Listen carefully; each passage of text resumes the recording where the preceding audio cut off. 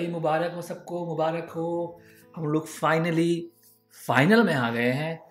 और आ, कोई कुछ बोले या ना बोले लेकिन मैं एक चीज़ कह दूँ कि हमारा नेक्स्ट कोच कौन होने वाला है? हमारा नेक्स्ट कोच जो है मैथ्यू हेडन बनने वाला है। आप ये लिख के रख लो। क्योंकि यार जिस तरीके से उसने जैसे पेरेंट होते हैं ना बच्चों को लेके चलते हैं संभाल के कि मतलब मेरे बच्चे की कोई बुराई ना करे कोई कुछ ना करे कोई चोट ना लगे कुछ ना हो वैसे लेके चल रहा था। मतलब आप मैच से पहले की उसकी जो प्रेस कॉन्फ्रेंस थी उसने क्या है जबरदस्त तरीके से बोला था don't don't be surprised whatsoever if you don't see some fireworks because very special players don't often stay down for long. I really believe yet is our best game, which is a huge threat for oppositions. And as we all know about the weather, when there's a lull, there's often a storm that follows. So, you know, look out the rest of the world because I think you're about to see something very special from Baba. कि भाई जब मौसम तो हमें सबको पता है कैसा होता है। जब खामोशी होती है, उसके बाद आता है तूफ़ान। और भाई, वही होने वाला है बाबर और रिजवान के साथ। यार, क्या बात है यार। बंदे ने सबको ढीला कर दिया, सबको बोला, भाई, घर जाओ तेल लेने। ठीक है ना? कोई बुराई नहीं कर सकता इस तक बाबर, रिजवान की कहानी ख़त्म। मतलब क्या बात है। उसके बाद सेकंड चीज़ जो मुझे, मैंने क्यों बोला कोच इसलिए बनने जा रहे हैं, क्योंकि जब वो जब वो आउट हुआ था, बाबर आउट हुआ था, और जब डग आउट दिखा रहे थे डग आउट सब बैठे हुए थे तो जो हस, क्या है, मोहम्मद हारिस जो था, वो देख रहा था कि भाई मुझे जाना था, किसको जाना है, कौन है, क्या हो, क्या रहा है, पता चले कुछ। तो उसने देखा मैथ्यू हेडन की तरफ़, और मैथ्यू हेडन सही लाया कि हाँ फिर वो चला गया। मतलब इसका मतलब ये है कि सकलैन मुश्ताक, जो आपके मोहम्मद यूसुफ और सब लोग बैठे हुए हैं, वो कुछ नहीं कर रहे। मैथ्यू हेडन ने सही लाया, बाकी किसी की कोई हिम्मत नहीं बोलने की कि क्या होने वाला है। उसने बोला, तुम जा रहे हो, तुम जा रहे हो, बस ख़त्म। अभी तो वो सिर्फ़ कंसल्टेंट है पाकिस्तान टीम के अंदर, लेकिन मुझे, मैं कह सकता हूँ कि आने वाले वक्तों में, क्योंकि वैसे ही हमारे यहाँ जो वो अच्छा चलता है, हमारा जब भी फ़ॉरन कोच आता है तो मुझे लग रहा है कि डेफिनेटली डेफिनेटली जो है ना हेड कोच में चेंज होगा, या तो परमानेंट इनको जो है ना बैटिंग कंसल्टेंट बना दिया जाएगा। लेकिन ज़्यादा चांसेस यही लग रहा है मुझे कि कैच कोच बन जाए क्योंकि जिस तरह की अथॉरिटी लगी ना, इनके अंदर के पूरे किस तरीके मीडिया को हैंडल करना, और कितनी कामली बात करना है। वो नज़र आया फिर टीम के अंदर। जब टीम जब अंदर मैदान में गई है, जिस तरीके जो पैशन था ना, देख रहा था बॉलिंग के वक्त, जितना जितना एक एफर्ट जो लगा रहे थे, कि मतलब एक तो हमारा शाहीन बहुत तरीके से वापस आ गया है पहले ओवर में दोबारा विकेट ले लिया उसने। और दो दफ़ा ले लिए। पहला आउट नहीं हुआ अंपायर ने आउट दिया आउट नहीं हुआ सेकेंड टाइम आउट हो गया। दूसरी बॉल तीसरी बॉल पे ना। तो यानी कि हमारा शाहीन जो है, बहुत फुल सिलेंडर में जो है ना फुल फुल रेस चला रहा है इस वक्त ना। तो वो बहुत ज़बरदस्त बात है। लेकिन जो मेरे लिए मतलब पर्सनली जो मेरे लिए जो टीम मुझे लगा ना कि हाँ यार टीम जान मार रही है। टीम जो है ना, बहुत एफर्ट कर रही है। और आज ये सोच के है जीत के जाना है। वो था जो कॉन्वे जो उनका था, उन उसने उसके, उसका रन आउट हुआ था ना। तो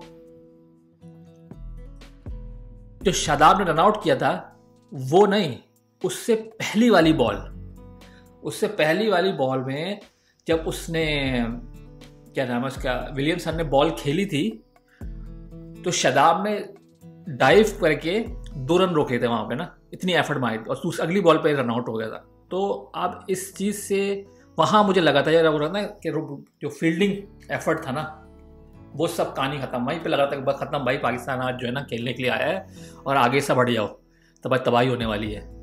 तो ऐसे ज़बरदस्त खेला भाई उन्होंने। दोनों उनके जो जो मेन बैट्समैन जिनका हमें डर था कि जो मार सकते हैं, वो था कॉनवे और फिलिप्स दोनों ने दोनों को जल्दी से निकाल दिया। हमारे दोनों स्पिनर्स नहीं अब चाहे रनआउट निकालो, कैसे भी निकालो स्पिनर्स निकाला हमारे।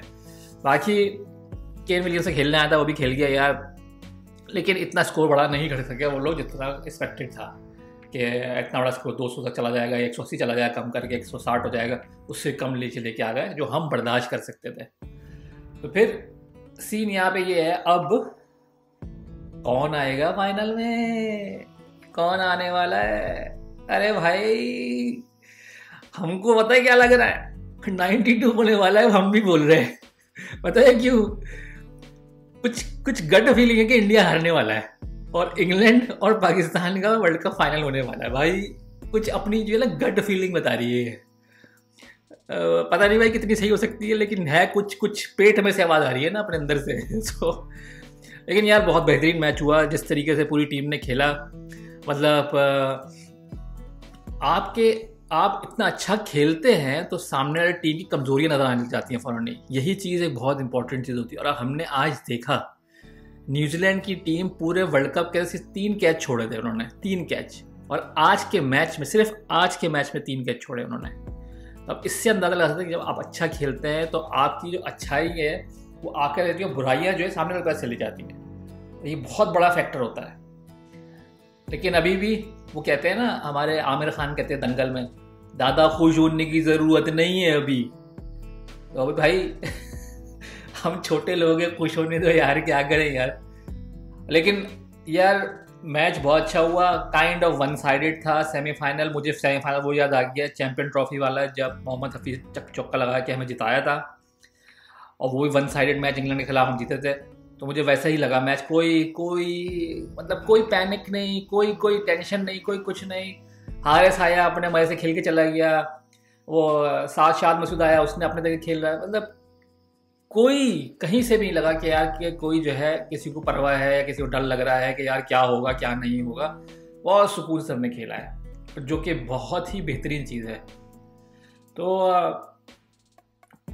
हाँ तो अब अब नेक्स्ट उसके लिए क्या है कि दुआएँ ये करनी है कि कोई भी आ जाएगा मैं ये नहीं कहूँगा इंडिया है या इंग्लैंड है, मैं कहूँगा कि कोई भी आए, पाकिस्तान उस स्ट्रेंथ से खेले कि सारी वीकनेसेस सामने वाली टीम में नज़र आए हैं, बनस्बत आपके। और आप इतने स्ट्रांग हो कि सामने वाला सोचे खुदा कुछ करने के लिए। और जब तक हमारे पास इस तरह के जो कंसल्टेंट कोच और ये लोग मौजूद हैं टीम मैनेजमेंट जो वहाँ काम कर रही थी, जो वो लोग हैं, जिससे मतलब मुझे बड़ी खुशी हुई देख के क्योंकि हर बंदा हर चैनल से वही दिखा रहा है कि प्रेस कॉन्फ्रेंस में हेडन ने क्या कहा था। और ये बहुत बड़ी बात है कि वो अपने बच्चों को प्रोटेक्ट कर रहा था। कोच का काम ही यही होता है कि बच्चों को प्रोटेक्ट करे, अपने प्लेयर्स को प्रोटेक्ट करे कि भाई कोई चीज़, उनको तकलीफ़ नहीं हो रही, उनकी सब चीज़ें जो खराबियाँ उनको सुधारो और उनकी और उनको प्रोटेक्ट करो ताकि उन पर दूसरी चीज़ें कोई उन पर लोग ना लेके आ जाए ना, कि बाहर से कोई इन्फ्लुएंस ना हो उनके ऊपर। ये बहुत अच्छी चीज़ है मतलब बेहतरीन यार मतलब मज़ा आ गया, मज़ा आ गया। और होपफुली सब कुछ ये इस तरह ही चलता रहेगा और हम लोग वर्ल्ड कप जीत के पाकिस्तान वापस आएँगे इन और और जो जीत आने लगता है पटाखे फाड़ेंगे कि हम लोग? पता नहीं यार क्या करेंगे, लेकिन देखते हैं, कुछ भी अच्छा ही करेंगे फिर। तो बस आज के लिए इतना ही। अपना ख्याल रखिएगा और बहुत इन्जॉय कीजिएगा आज का दिन, क्योंकि अभी पता नहीं है ना किस कौन आ रहा है उसमें। तो इसलिए अभी बहुत इन्जॉय कीजिएगा और बस कुछ नहीं करना ना दुआ मांगनी है, कुछ भी करना शुक्र अदा करें और इन्जॉय करें। ठीक है, छुट्टी मना रहे हैं वैसे पाकिस्तान में तो लोग एक डे मना रहे हैं तो मनाओ, यार मज़ा आएगा। ठीक है भाई, अब अपना ख्याल रखना और फिर दोबारा मिलते हैं अगली वीडियो में।